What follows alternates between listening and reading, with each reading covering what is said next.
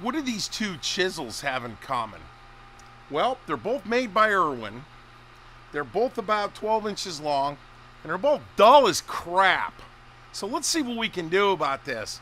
All of these brand new chisels are dull, but they're almost sharp. So there's nothing wrong with this chisel. There's just something you got to do to it to put it in service.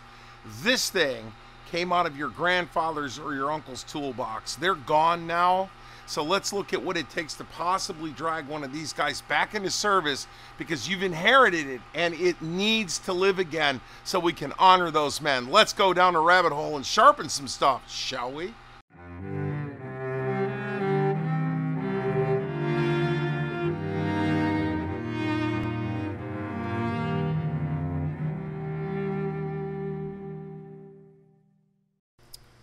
This Tormek here, um, we're going to talk about that in a little bit. It's a piece of automation that you don't need unless you're into production woodwork like I am. The factory angle on this chisel is about 25 degrees. A little bit steep, but we are going to refresh to 25 because you have a lot more metal backing up the edge here. That's going to help. All right. We're going to attempt to take a photograph and show you guys that as you're looking at this blade edge on, it's actually silver. Those little silver spots that you're seeing on the edge are actual face metal, and we want to get rid of that. So what are we really actually doing here? Well, we have a 25 degree edge, okay? And I don't care if that's actually 25, but we're going to call it 25. What the heck, right? But is that really what we're doing? No, we're going to use this big stone and we're going to scoop this out. I'm exaggerating it. So now we're going to have an edge that's hollow ground up to the top and out. All right. It is very important that you keep this backside flat. We have a few examples here of chisels that have been sharpened where the backsides were not flat. Very hard to show. Let me let me get this end on. You can actually probably see right there. See how that rolls up on the back? Very difficult to control a chisel with that back angle. So we need to keep this flat. We need to keep the back side of this free of scratches. And we may actually have to polish this one a little bit in order to get the scratches out of it because that will show up in your cutting. Not only then do we have this hollow ground, but this is going to be the 25 degree angle. And then at the very, very end of this, and let me blow this up now. Here's the very end of it. All right. So this is like 10x view. That is going to be cut at about 27 degrees. So that's 25 degrees, right? And the reason we're going to do that is, is we're going to put about a 30 thousandths of an inch micro bevel on this. That micro bevel is going to be easier to touch up. It's going to be easier to maintain and easier to keep ridiculously sharp when you're on your workbench. I put a little bit of oil on this stone in order to float the particles of metal and, and bits of shards of stone that come off. That's what you put oil on it for. There are oil stones, there are water stones. This information is available all over the internet. This, again, is just Chisels 101 for gunsmiths. All right, I have wire wheeled the back side of this and not the front, okay? We're going to leave all this on the front so we can watch this edge progress. But on the back, if you have pits when you buy this thing, or if you get it or you find it, if there are pits in this blade, if it's rusted bad enough, you're done. Take that chisel and make a mainspring for a gun out of it or something. Make a mainspring for a musket. What will happen is, if you have discontinuities on the back of this, and this run out from the grinder, you can actually see how the lines are going around like that. We're going to have to polish that out too, because if you don't, you wind up with these microscopic fingers sticking out, and when you make a cut, you'll get you'll get lines through your woodwork. Again, we wouldn't use a chisel this big for gunsmithing, but the, the uh, woodworkers in the back asked me if I could say, salvage this one, and uh, they just work on a lot bigger stuff than we do. So this stone is fairly flat, and all I'm going to do is do a rub out on this, and we're going to see how bad we are here. All right. We only need to get the last inch or so of it fairly, fairly shiny. And we can see here that um, right there, we're rubbing there, but we're not rubbing over here. So we've got to keep going. We have to get that shiny in the back. There are other ways to do this. You could take some 600 grit sandpaper and put it on something solid like a piece of silestone or something. So we're getting, we're making a little bit of headway there. You can see where we're touching off here, we're touching off there. And we just keep going until we get it absolutely flat. Do not lift the back of this chisel up. It will be impossible to cut a straight line unless you have a flat. And the chisel is typically used in this format, unless you're parting. You're, you're running it down across the wood that way, not across the wood this way. Again, there are a lot of woodworkers, a lot of cabinet makers that have done this video that are a lot better at it than I am. But I'm just talking to the new guys. Okay. I'm going to get this. We're going to work this over until, there we go. Now we just about got it. Here, let me get the light to shine on it again right there. You can see that we, we got it all the way across. It's like flat all the way back. So this chisel was not in too bad a shape. Now leave all of this garbage on this. Um, I leave it all on, and then I take my personal, my strop, and we'll talk about strops here in a little bit later. And I just take the garbage on the stone and throw it on my strop and use that to charge my strop. Okay. The front side of this, like I said, you leave that all on. I bust. You just rub it on there like that. We'll talk about that here in a minute. So now you see we, we've we've cleaned it off. Uh, where's the light? Where's there it is right there. Boom. We've cleaned it off most of the way across the front here, and now we're ready to go to the other side. There is, however, one other thing we got to do. We'll set this thing up to 90 degrees. You don't have to have this fancy of, a, of an angle measuring device. I just happen to own it, so I use it. We'll set this up here to 90 and lock it down, and we're going to take a look at how true this angle is here. As you can see, I'm actually rocking across it. There, it's touching there, and it's, you see what I mean? So it's not quite a true 90 degree angle. And in fact, yeah, this is kind of bad. There's a high spot right there, right where my fingernail is. There's a high spot. And you can actually see it rocking. Look at that.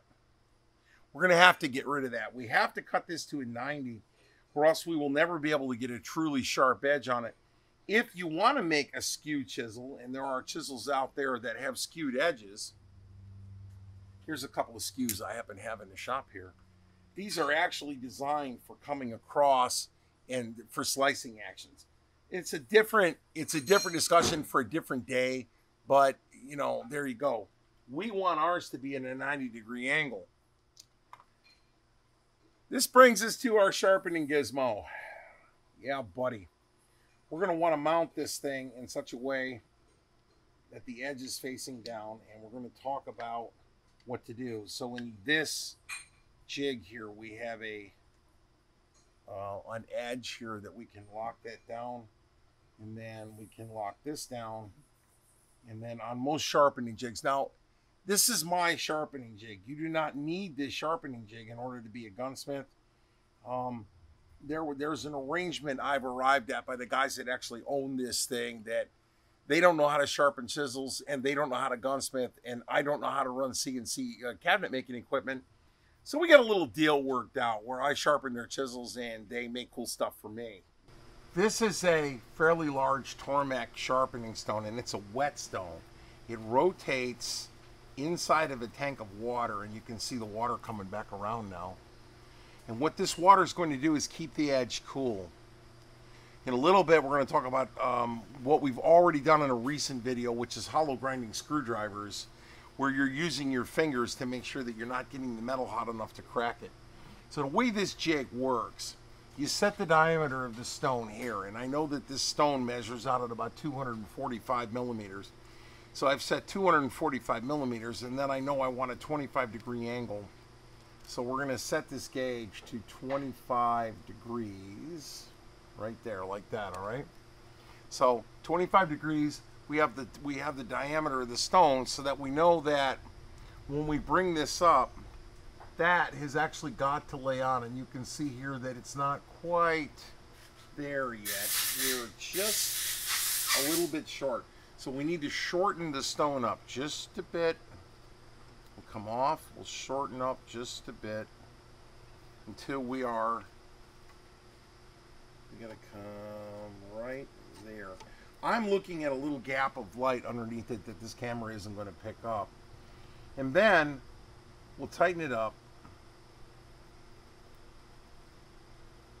Now, I'm looking down the edge of this stone in such a way, hang on a second here.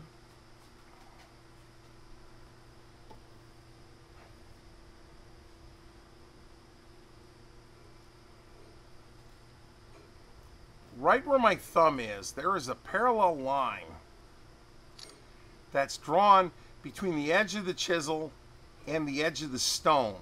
And that's how I'm getting a rough guesstimate as to whether or not, if those two lines are parallel, then I'm making the assumption then that this is going to cut at a 90 degree angle. And since we know where that little dipsy doodle is, it should start cutting off this side first.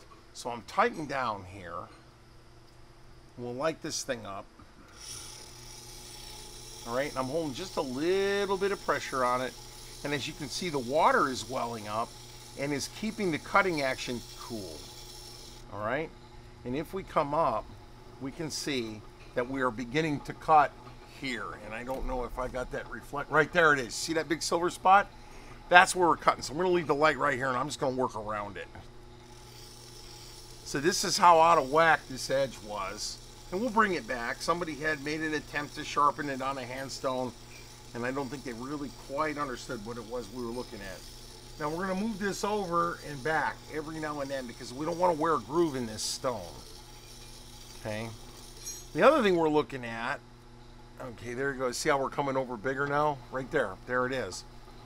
This edge right here has got a bit of a rounded corner on it, and that's got a bit of a rounded corner on it. Depends on the woodwork you're doing if you don't want the edges to go out. I pers personally like them to go straight across. I don't like that corner on it. If they want that corner on it, they can put it on it. You just hold your finger on it right there and slide it back and forth. Now, you can do this on a bench grinder with a real fine stone on it, but you've got to keep it very cool. Don't get this edge hot enough that it'll hiss when you put it back in the water, because if you're doing that, microscopic cracks will start forming. You'll draw the temper out on the edge and you will never get a blade on this thing. Now, uh, how the heck are we going to show that? There is a slight burr beginning to form here as we're taking off one side of it before the other. But you can see how much of it, as it's beginning to progress back across, the blade wasn't exactly perfectly straight. No big deal. So this goes on ad infinitum, ad nauseum, and on and on and on.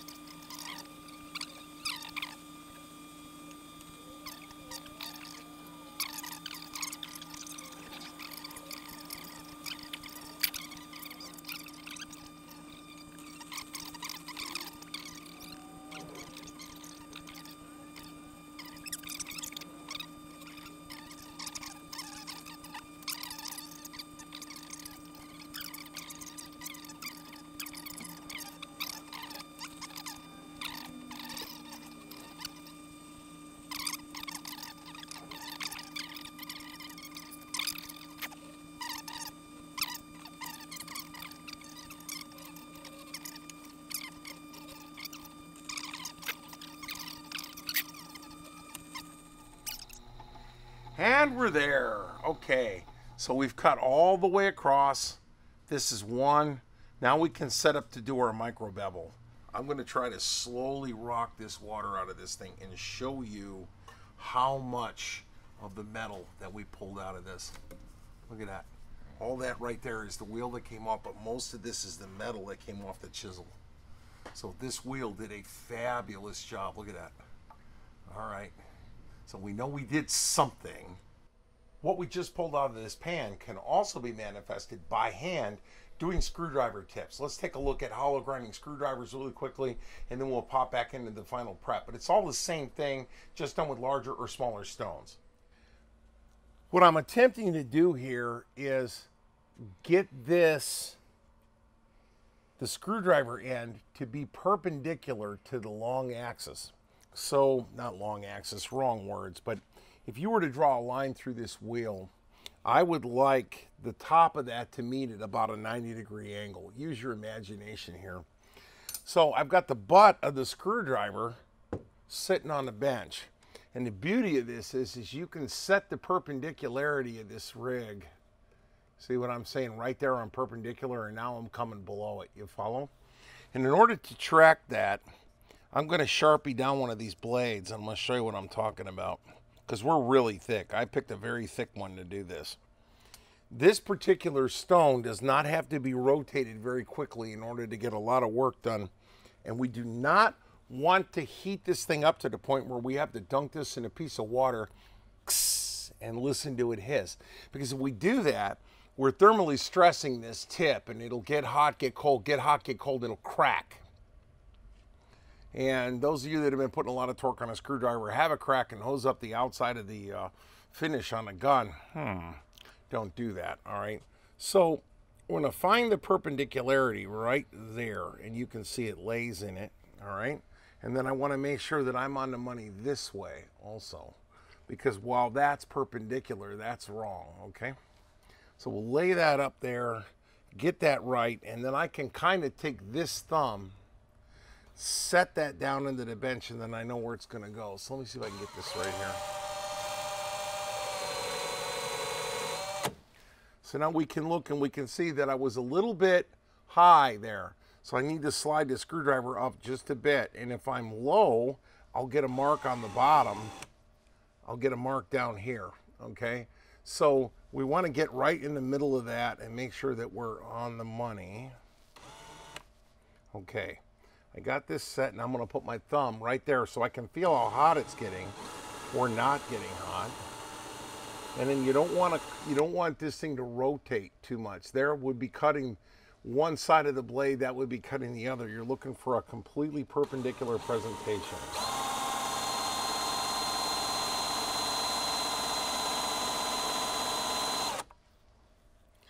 All right. So I'm still a little high, but I'm getting there. It's coming down. You can see the sheens all the way across. I can touch the blade. And I got news for you, man. There's magnetic stuff being generated everywhere. And it's landing on the bench. And we don't want to drag that into the action. So when we go to put the action together, we'll do it over fresh towels.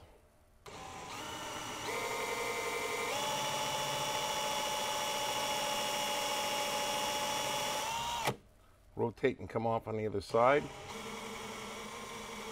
Now, I just flipped that over and very nonchalantly put it up against the stone. I will tell you, that this is not the first time I've ever done this. And when I hold my thumb up in the air, it's not because everything's okay. It's because I'm trying to tell you I got a thumb in opposition to my four fingers. yeah. While we were doing that, we were dragging microscopic amounts of material off such that if you were to run your finger along the edge, you can actually feel a very slight burr sticking up. And when you got that burr all the way across the edge, then you know you have come down to zero thickness. Now, on this particular stone, this is a water stone, so I'm just going to get a little bit of water here and I'm going to get it wet. All right.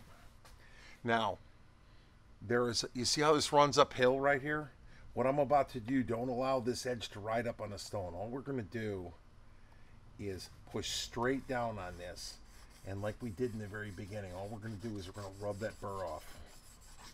And that's all I'm doing now. I've gotten that burr off that backside and it doesn't curl up. Now, for the micro bevel, I've got to figure out how to show you this. If you put this thing down, and I'm going to put my finger here and show you what we're doing.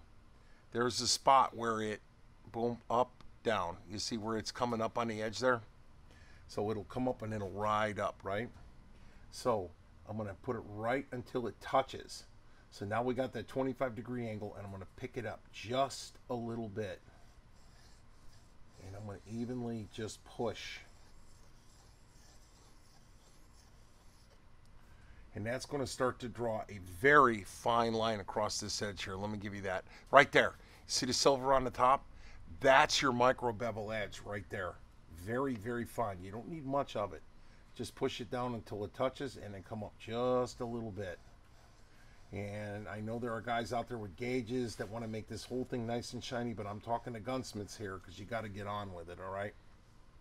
There's a very, very fine edge there, and you can feel it. And it definitely curls up. Now, do not run your finger across this edge this way.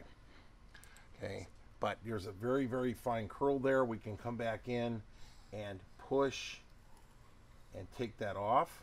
And we're going to do that one more time. Again, being very, very careful to not lift this thing. Don't lift it. It's got to be absolutely flat. Okay, that's almost gone. We're going to do it one more time and then we're going to strop. We're going to touch down, find it, come up just a little bit, and put a very, very fine edge on it. We've got it. And I'll get it right there in the light for you. You can see it's shining at us right on the edge. Where is it? Right there. So once we've done that, we're going to talk about a strop. So right now, we have an edge on this thing. Here's the curve. There's the micro bevel.